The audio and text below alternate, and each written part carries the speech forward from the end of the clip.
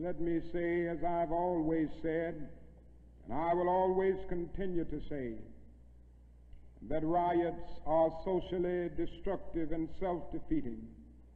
I'm still convinced that nonviolence is the most potent weapon available to oppress people in their struggle for freedom and justice.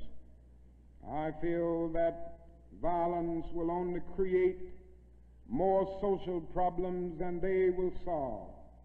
That in a real sense it is impractical for the Negro to even think of mounting a violent revolution in the United States.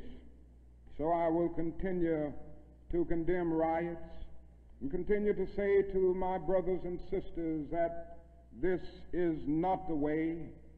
Continue to affirm that there is another way.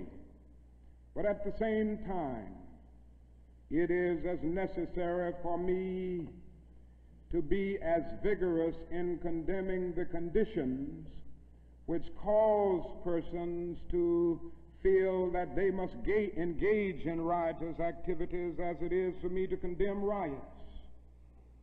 I think America must see that riots do not develop out of thin air.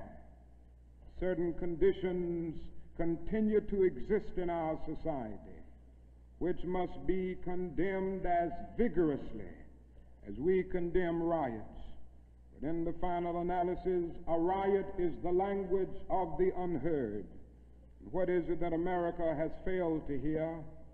It has failed to hear that the plight of the Negro poor has worsened over the last few years. It has failed to hear that the promises of freedom and justice have not been met. And it has failed to hear that large segments of white society are more concerned about tranquility and the status quo than about justice, equality, and humanity. And so, in a real sense, our nation's summers of riots are caused by our nation's winters of delay. And as long as America postpones justice, we stand in the position of having these recurrences of violence and riots over and over again. Social justice and progress are the absolute guarantors of riot prevention. I think that is an answer to that myth, and it is that time is neutral. It can be used either constructively or destructively. And I'm absolutely convinced that the forces of ill will in our nation, the extreme righteous in our nation, have often used time much more effectively than the forces of goodwill.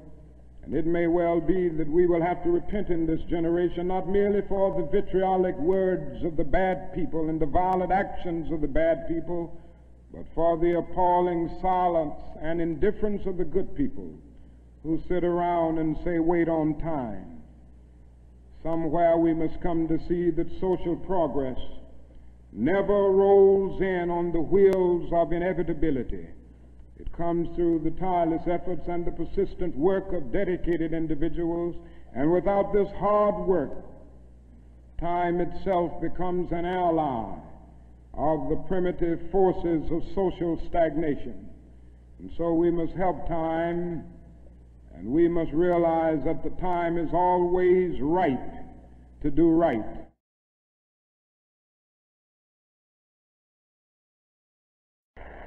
It seems to me that the civil rights movement must now begin to organize for the guaranteed annual income, begin to organize people all over our country and mobilize forces so that we can bring to the attention of our nation this need and this something which I believe will go a long, long way toward dealing with the Negro's economic problem and the economic problem with many other poor people confronting our nation. Now, I said I wasn't going to talk about Vietnam, but I can't make a speech without mentioning some of the problems that we face there because.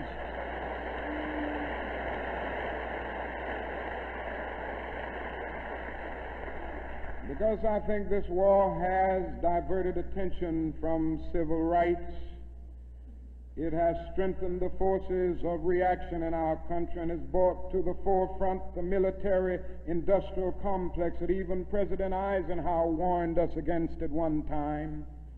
And above all, it is destroying human lives.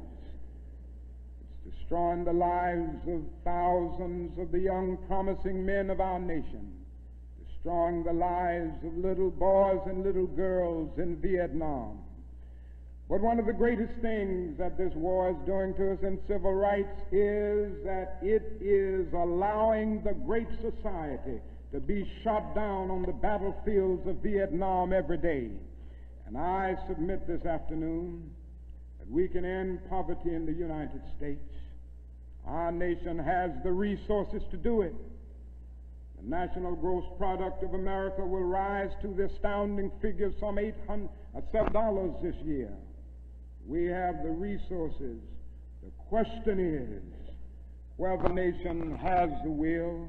And I submit that if we can $5 billion a year to fight an ill-considered war in Vietnam and $20 billion to put a man on the moon, our nation can spend billions of dollars and on their own two feet right here on earth. I say to you today, my friend, so even though we face the difficulties of today and tomorrow. I still have a dream. It is a dream deeply rooted in the American dream. I have a dream mm-hmm. that one day this nation will rise up and live out the true meaning of its creed. We hold these truths to be self-evident that all men are created equal.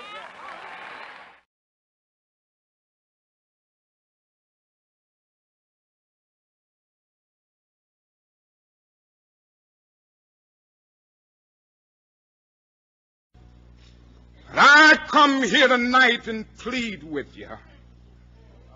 Believe in yourself and believe that you're somebody. As I said to group last night, nobody else can do this for us. No document can do this for us.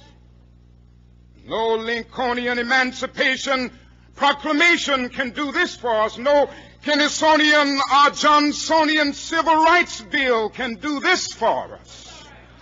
If the Negro is to be free, he must move down into the inner resources of his own soul and sign with a pen and ink of self-assertive manhood his own Emancipation Proclamation.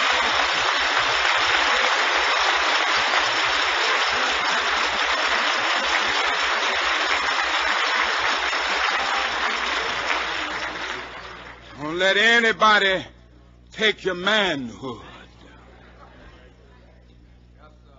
Be proud of our heritage. As somebody said earlier tonight, we don't have anything to be ashamed of.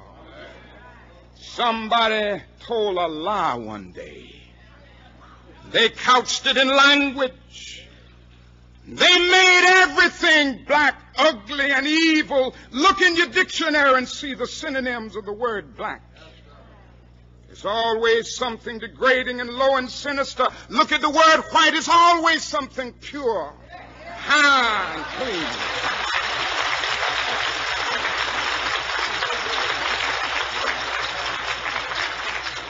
But I want to get the language right tonight.